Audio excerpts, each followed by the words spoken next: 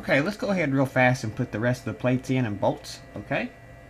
So, let's select our main body. And let's see here. Let's go back into polygon mode. I want to select this front polygon, like that. I'm going to Command C to copy it. And I'm going to get a new mesh.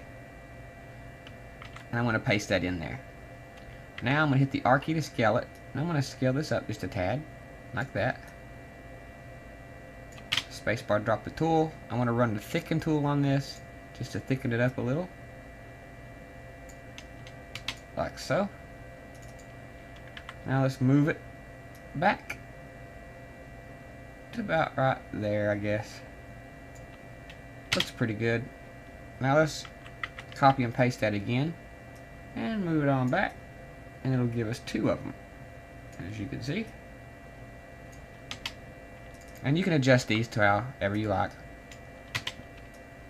Okay, there's those two plates. Let's go back to our main body and let's make the back plates. So let's grab this back polygon.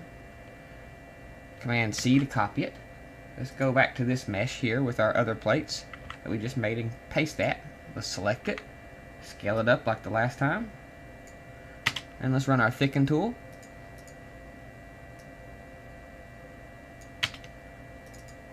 Now we can move this back into place. About like so. Now let's go ahead and go to our duplicate tab. Let's select our clone. Let's make three of them. Let's click and we'll bring them out like this. Actually, let's just make two of them. That'll give us three altogether. Okay, now we have our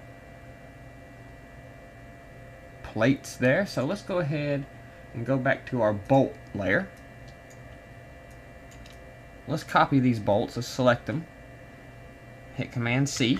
Let's go back to our caps that we just made and paste them in there. Okay? Now I'm going to select these and I'm going to move them back to where they come in contact with our plate. I'm going to hit the R key and we're going to scale them up.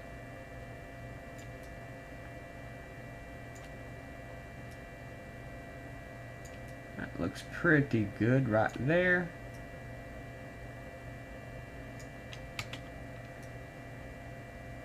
Now let's go ahead and copy and paste those again. And we'll bring them back to here. A little bit too far I went. Now we have our bolts on that. Now let's select these. Let's copy and paste them one more time. And we'll bring them to this plate. And we're going to hit the R key and we're going to scale them up to fit this plate. Like so. Now we can move them forward.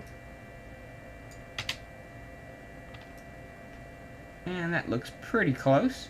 So let's go ahead and see what we got here.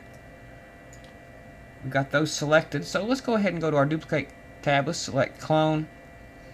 And let's make a count of two. Click. That'll give us our bolts for that one. And we can go ahead and back those right into our plate. Like so.